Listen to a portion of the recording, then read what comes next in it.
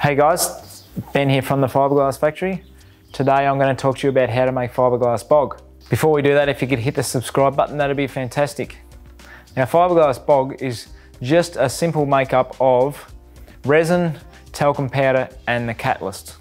So when you're doing it, we will mix up about 200 mils of resin into a little container and then we'll put in what we think is about the right amount of talcum powder and with maybe two to 3% of catalyst. We go a little bit higher with the catalyst because the talcum powder seems to soak up the catalyst.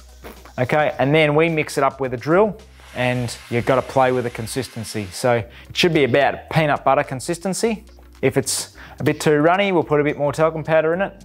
If it's a bit too stiff, then we'll put some more resin in it.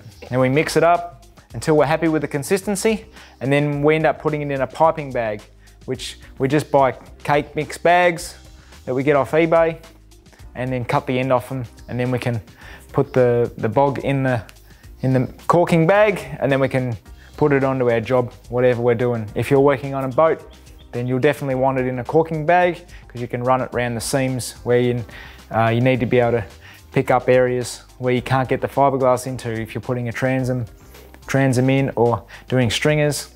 There's definitely going to be spots where you're not going to, the fiberglass is not going to curve to. Okay, thanks very much for watching. Hope this has been helpful.